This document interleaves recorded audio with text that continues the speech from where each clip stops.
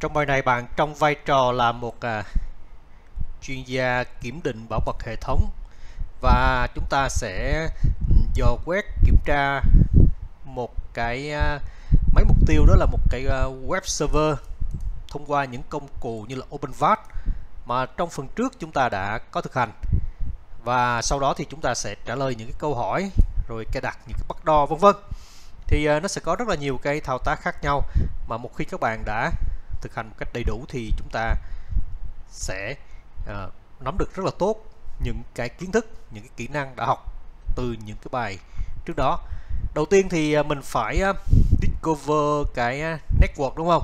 Thì um, cái resource là gồm có một máy domain controller này một cái máy router một con member server Windows Server 2019 thì phải một máy Linux và một máy là Kali máy Kali. Các tài khoản thì à, mình có thể nhấn chữ T để mà nó tự động điền. À, đây là cái cách mà một em học viên à, đã chỉ điểm cho tôi. À, đây là các DVD driver rồi các card mạng vân vân. Chúng ta thấy có phần hép.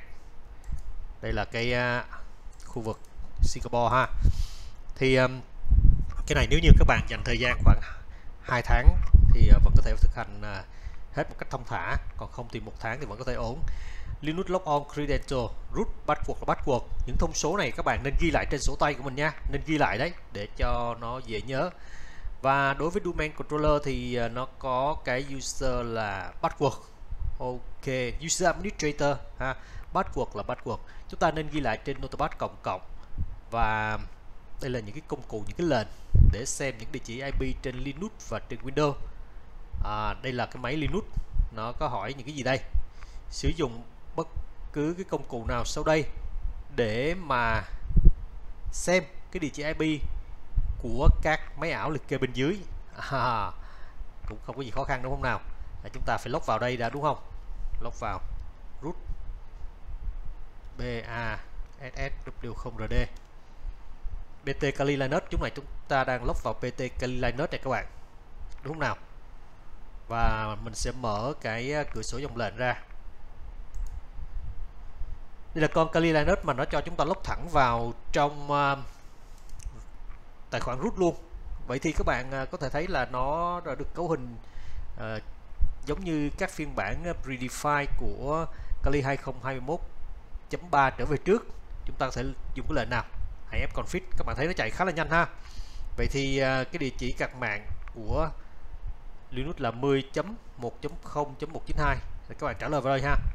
10 10.1.0.192 rồi uh, nếu như làm đúng thì nó sẽ báo ra correct. Đối với con LX1 rồi con DC1 MX1 thì chúng ta phải làm thế nào? Các bạn sẽ vào từng máy trên hả? Vào từng máy trên rồi chúng ta sẽ kiểm tra. Tuy nhiên uh, mình còn có thể sử dụng bằng cái phương pháp là net discover đúng không? Net discover trừ r. À, trừ r. Thì à, trừ r là cái này nó nằm trên cùng một lớp mạng như trong những phần trước chúng ta đã thử nghiệm đó là 10 10 chấm bao nhiêu các bạn? 10.1.0.0 suy 24 đó chúng ta sử dụng net discover này để nó dò quét ra các máy tính khác ở trên mạng hoặc là dùng nmap. Chúng ta vẫn có thể quét toàn bộ hệ thống mạng rồi mình sẽ trả lời những cái câu hỏi tương ứng phía dưới đây. Đó, chúng ta phải nhập vào. Thì cái apply lab là một cái kiểu như vậy để chúng ta làm quen thực hành lại các thao tác mà mình đã học. Ở đây thì nó không có những hướng dẫn step by step đúng không? Chúng ta cần phải tự làm. Nhưng mà thật ra thì những thao tác tự làm đó là nó đã có trong những phần trước. Và mỗi người thì à, phải tự làm nha. Phải tự làm và chụp cái ảnh à, kết quả để gửi lên cho ban quản trị xem. Thông qua đó thì chúng tôi có thể biết được là các bạn đã hoàn thành những bài tập như thế nào. Và khi có những cái trở ngại thì ban quản trị sẽ dễ hỗ trợ và xử lý cho mọi người hơn như các bạn có thể thấy ở đây là với lệnh net discover mà chúng ta đã chạy thì chúng ta sẽ thấy có một số máy chấm 1 này chấm 2 chấm 10 chấm 22 rồi chấm 254 tuy nhiên ờ, chúng ta chưa biết chính xác những cái um, tên máy của nó là gì. Thì trong nhiều trường hợp đấy là các bạn không thể chạy được cái lệnh net discover này thì các bạn vẫn có thể sử dụng lệnh nmap nhé lệnh nmap này rồi ờ, các bạn sẽ dạng là bin scan trừ sn chúng ta sẽ quét xem các máy để kiểm tra những cái máy đang tồn tại. Thì các bạn hãy xem lại trong cái chủ đề về mà quét những cái máy trong à, bài lab đầu tiên. Nó chỉ là bài lab sau mỗi bài mà là tìm hiểu hệ thống thực hành thôi các bạn. Và dựa trên những cái, à, cái IP có thể là chúng ta sẽ lưu lại những IP đó rồi chúng ta mới đưa vào trong danh sách để mà kiểm tra sâu hơn. À, chúng ta có thể là xin scan hoặc là ở đây tôi quét thử là trừ A scan luôn à, hoặc là trừ O trừ SV vân vân. Thì mình sẽ biết chi tiết những cái thông số trong những phần này. Và chúng ta sẽ nhập những cái địa chỉ IP vào một cách thích hợp. Các bạn có thể chờ trong giây lát để xem thử là cái kết quả nó như thế nào. Với môn lab này các bạn có thể tham khảo tại um, cái trang um, trang nào nhỉ? Có một cái hệ thống website. Kênh của chúng tôi đó là contivietnam.com hoặc là conti.edu.vn đây là kênh uh, Conti TV là một kênh trên uh, YouTube nha các bạn.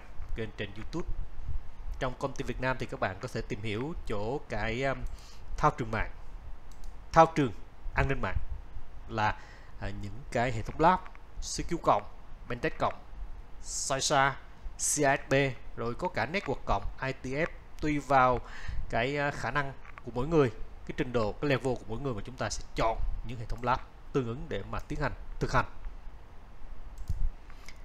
Như các bạn có thể thấy ở đây tôi uh, sử dụng một cú pháp khác là nmap trừ sn và tôi đưa cái lớp mạng 10.1.0.0/24 à, ờ, bởi vì sao tôi biết cái lớp mạng này? Vì mình đã dùng lệnh ifconfig ở trên uh, hệ thống uh, của Kali Linux nè.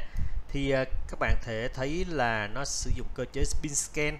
À, các bạn có thể tham khảo thêm cái tài liệu về nmap mà trung tâm có một tài liệu uh, khá là hay về chủ đề này nhé để nắm vững vàng hơn. Thì chúng ta thấy là nó hiện thị ra khá là nhanh chóng và dễ dàng chi tiết hơn cả cái net discover. Tuy nhiên net discover thì cũng là một cái lệnh ờ, khá là thông dụng mà thường được chạy để làm các CTF các bạn thấy cái DC là domain controller đấy các bạn. Chúng ta nhập cái domain controller là 10 đúng không? Chấm 1 chấm 0 chấm 1 đó chúng ta nhập vào.